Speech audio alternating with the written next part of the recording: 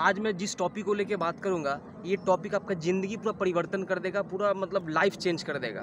तो आप पूरा ध्यान से सुनिए, आज का टॉपिक क्या है? आज का टॉपिक है कि एग्ज़ाम्पल दो, नहीं एग्ज़ाम्पल बनो। हम मिडिल क्लास फैमिली में क्या होता है, हम लोग ऑलरेडी एग्ज़ाम्पल किसी न किसी को देते हैं। कोई गरीब आदमी अमीर को देता है, अमीर और उससे भी अमीर को देता है। लेकिन ये अधिकतर मिडिल क्लास फैमिली में होता है। क्या बोलता है? अंबानी का औलाद है क्या? हम लोग पास उतना कुछ नहीं है, हम लोग उतना कुछ नहीं कर पाएँगे। है ना? रतन टाटा है क्या?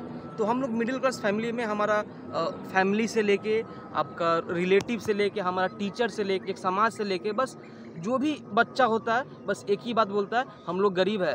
ये जो एरोप्लेन जो चलता है, उसमें हम लोग का औकात नहीं हम लोग के लिए भाई साइकिल ही ठीक है। हम लोग के लिए गाड़ी नहीं, हम लोग के लिए मोटरसाइकिल ही ठीक है। मतलब बाइक ही ठीक है।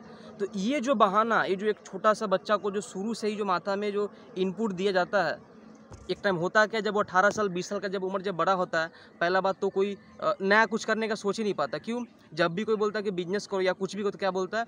नहीं हमसे नहीं हो पाएगा। क्यों? क्योंकि ऑलरेडी शुरू से ही लेके अभी तक माइंड में एक ही इनपुट डाल, डाल दिया है।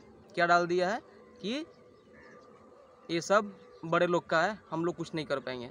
तो मेरा बोलने का बस सिंपल सा फंडा भाई एग्ज़ाम्पल दो नहीं एग्ज़ाम्पल बरो। अगर रतन टाटा और अंबानी और हम middle class family Ratan Tata भी आदमी है, हम भी आदमी है। ऐसा तो नहीं है कि वो मतलब कोई वैज्ञानिक है व कोई महान आदमी है या जानवर, ऐसा तो नहीं है।